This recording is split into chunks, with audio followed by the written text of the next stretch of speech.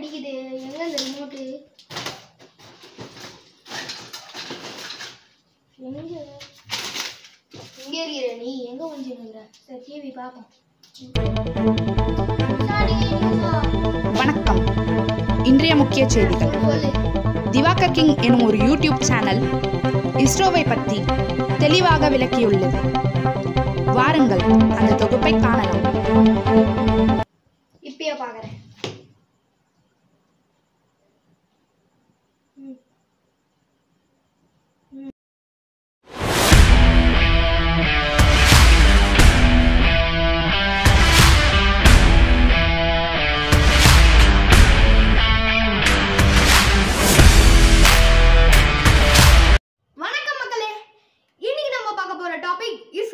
அதாவது Indian space research organisation அதை பத்தின ஒரு சில இம்பார்ட்டன்டான ஃபேக்ட்ஸ் பத்தி தான் உங்களுக்கு நான் இன்னைக்கு ஷேர் பண்ண போறேன்.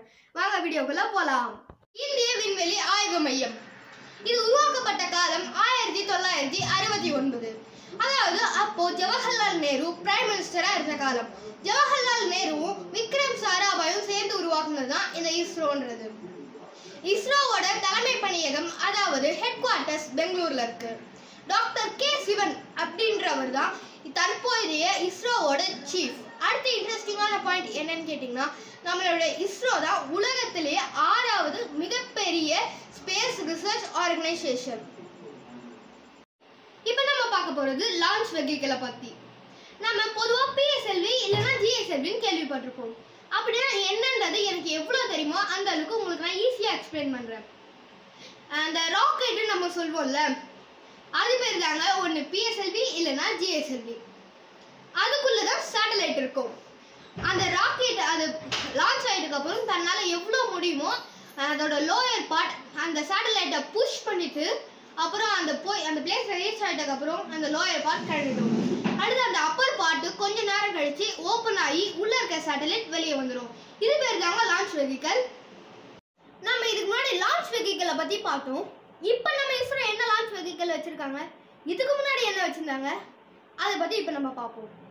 இதுக்கு முன்னாடி ஃபஸ்ட்டு ஃபஸ்ட்டு என்ன லான்ச் வெஹிக்கல் வச்சுருந்தாங்கன்னா எஸ்எல்வி அண்ட் ஏஎஸ்எல்வி எஸ்எல்வினா satellite launching vehicle ஏஎஸ்எல்வினா advanced satellite launching vehicle and இப்போ நம்ம என்ன வச்சுருக்கோம் பிஎஸ்எல்வி அண்ட் ஜிஎஸ்எல்வி பிஎஸ்எல்வினா என்ன polar satellite launching vehicle ஜிஎஸ்எல்வினா geo synchronise satellite launching vehicle நம்ம இஸ்ரோ இது வரைக்கும் நிறைய சேட்டலைட்ஸை லான்ச் பண்ணியிருக்காங்க அதில் ஒரு சில இம்பார்ட்டண்ட்டான சேட்டலைட் பற்றி உங்களுக்கு நான் ஷேர் பண்ணுறேன் அது என்னன்றதை இப்போ நம்ம பார்க்கலாம்.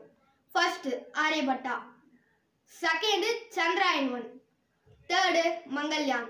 இதை பற்றின ப்ரீஃபான டிப்ஸை உங்களுக்கு நான் சொல்கிறேன் இந்தியாவோட ஃபர்ஸ்ட் சேட்டலைட் அதுதான் ஆரியபட்டா இது எப்போ லான்ச் ஆச்சு?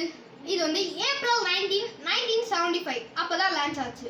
இதை தொடர்ந்து ரோகிணி போன்ற பல சேட்டலைட்ஸ் நம்ம இந்தியாவிலே மேக் பண்ணி லான்ச்சும் பண்ணியிருக்காங்க. இதுக்கே ஏன் ஆரியபட்டான் நேம் வந்துச்சு?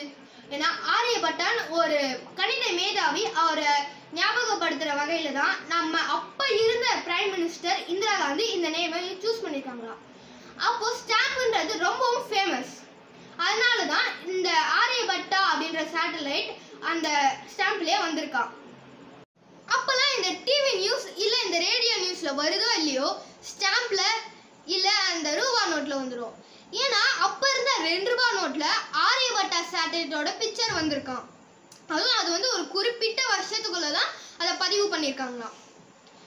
இது வந்து கொஞ்சம் சோகமான செய்தி. ஏன்னா இந்த ஆரியபட்டா சேட்டலைட் லான்ச் பண்ணி அடுத்த அஞ்சாவது நாள் அது பிளாஸ்ட் ஆயிடுச்சு. பிளாஸ்ட் ஆனது என்னவோ அஞ்சு நாள்ல. ஆனால் அது உலகத்தை வந்து சேர்றதுக்கு பதினேழு வருஷம் ஆயிருக்காங்க. நம்ம நெக்ஸ்ட் பார்க்க போகிற சேட்டலைட் சந்திரயான் ஒன் இந்த சந்திரயான் ஒன் நம்ம இந்தியாவுக்கு வேணா ஃபர்ஸ்ட் சேட்டலைட் டு மூணாக இருக்கலாம். ஆனால் உலகப்படி பார்த்தா இது ஃபோர்த்து சேட்டலைட் டு மூன் ஏன்னா first America second Japan third Chinese next நம்ம. இது லான்ச் ஆன date October twenty two two thousand eight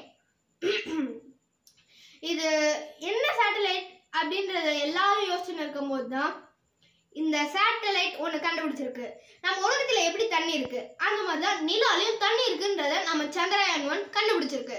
இது இந்தியாவுக்கு அவ்வளோ பெரிய பெருமை. நம்ம நிலால தண்ணி இருக்குன்றதை கண்டுபிடிச்சிட்டோம். இன்னும் மேலே மேலும் கண்டுபிடிச்சிக்கிட்டே போகணும் டிஸ்கவர் பண்ணிக்கிட்டே போகணும் நம்ம இஸ்ரோவை ஒரு பெரிய லெவலுக்கு கொண்டு போகணும்னு அவ்வளோ ஆசையோடு இருந்த சயின்டிஸ்ட் ஒரு விஷயத்தை கேடு ரொம்ப சோகமாயிட்டாங்க. ஏன்னா August twenty eight two thousand nine அந்த சேட்டலைட்டுக்கும் இஸ்ரோக்கும் இருக்க கனெக்ஷன் கட் ஆச்சு. ஆனால் இந்த சோகம் ரொம்ப நாளைக்கு நீடிக்கல. ஏன்னா நம்ம நம்ம நாசா சயின்டிஸ்ட் கண்டுபிடிச்சிட்டாங்க.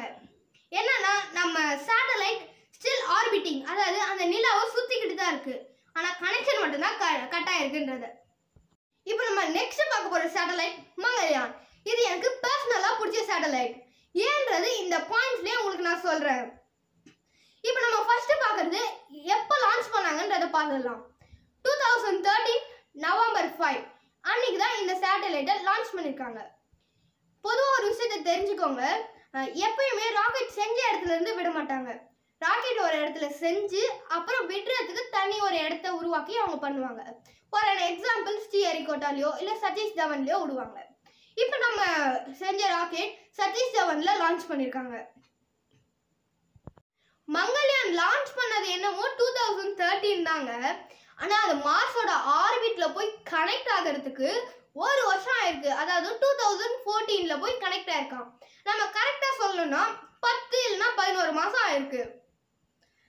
எனக்கு பிடிச்ச பாயிண்ட் அப்படின்னு சொன்னல இந்த பாயிண்ட்னால தான் எனக்கு இந்த சேட்டலைட்டே ரொம்ப பிடிக்கும். ஏன்னா இந்த சேட்டலைட் ஃபர்ஸ்ட் அட்டம்ப்ட்லேயே சக்ஸஸ்ஃபுல்லாக ஆனதான். நம்ம இந்தியாவுக்கு இஸ்ரோ மூலமா இன்னொரு பெருமை. அது என்னன்னு தானே கேட்குறீங்க நம்ம ISRO February fourteen two thousand seventeen ஒரு வேர்ல்டு ரெக்கார்டை பிரேக் பண்ணியிருக்காங்க. ஃபர்ஸ்ட் அது என்ன வேர்ல்டு ரெக்கார்டுன்னு பார்க்கறதுக்கு முன்னாடி இதுக்கு முன்னாடி அந்த வேர்ல்டு ரெக்கார்டை பண்ணது யாருன்றதை பார்த்துருவோம். நம்ம ரஷ்யா இருக்காங்கல்ல அவங்க வந்து ஒரே ஒரு சிங்கிள் ராக்கெட்ல முப்பத்தி ஏழு சேட்டலைட்ஸை வச்சு அந்த ஆர்பிட்டுக்குள்ள சுத்த வச்சிருக்காங்க. ஆனா நம்ம இந்தியா அதை பிரேக் பண்ற விதமா ஒரு ராக்கெட்ல நூத்தி நாலு எவ்வளோ? நூத்தி நாலு சேட்டலைட்ஸை வச்சு லான்ச் பண்ணி அதை ஆர்பிட்டர் சுத்தமாக வச்சிருக்காங்க. இது மூலமா நம்ம இந்தியாவுக்கு இஸ்ரோ மூலமா இன்னும் பெருமைகள் சேர்ந்துகிட்டே இருக்கு. இந்த வீடியோ உங்களுக்கு பிடிச்சிருக்கோன்னு நம்புறேன். ஸ்கிப் பண்ணாம பார்த்தவங்களுக்கு தேங்க்ஸ் அடுத்து என்ன வீடியோ வேணும்ன்றத கமெண்ட்ல சொல்லுங்க. நான் நிச்சயமா ட்ரை பண்ணுவேன் அந்த வீடியோவை போடுறதுக்கு. ப்ளீஸ் கமெண்ட்ல சொல்லுங்க.